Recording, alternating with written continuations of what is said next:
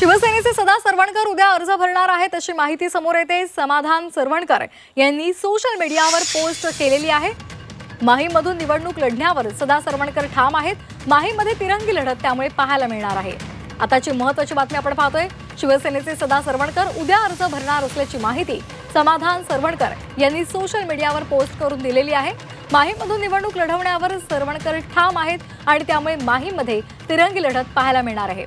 राज ठाकरे यांनी लोकसभेमध्ये महायुतीला बिनशर्त पाठिंबा दिलेला होता आणि त्या पार्श्वभूमीवर माहीममध्ये राज ठाकरे यांचे पुत्र अमित ठाकरे हे निवडणुकीला आता सामोरं जाणार आहेत. त्यामुळे त्यांना तिथे सहकार्य करणं गरजेचं आहे.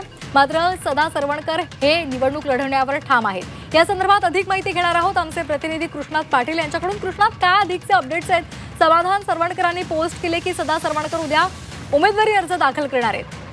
सदा सरवणकर यांचे पुत्र समाधान सरवणकर यांनी व्हॉट्सअप स्टेटसला ठेवलेलं आहे की उद्या सकाळी साडे दहा वाजता उमेदवारी अर्ज हे सदा सरवणकर भरणार आहेत. त्यामुळं अमित ठाकरे यांच्या समोरच्या अडचणी ह्या नक्कीच वाढलेल्या आहेत. कारण जर दुरंगी लढत झाली तरच अमित ठाकरे यांना फायदा होऊ शकतो. अन्यथा तिरंगी लढतीमध्ये कदाचित ही निवडणूक अमित ठाकरे यांच्यासाठी सोपी नसणार आहे. आणि त्यासाठी सर्व महायुतीतले विविध नेते एकनाथ शिंदे यांच्यापासून इतर नेते देखील सदा सरवणकर यांची समजूत घालण्याचा प्रयत्न करतायत की तुम्ही उमेदवारी मागे घ्यावी. परंतु ते सध्या विद्यमान आमदार आहेत आणि त्यामुळं आणि त्यांचं पक्षानं नाव देखील जाहीर केलेलं आहे. आणि परिणामी ते काही माघार घेण्यास सध्या तरी तयार नसल्याचं दिसतंय. धन्यवाद कृष्णात आपण दिलेल्या या माहितीसाठी.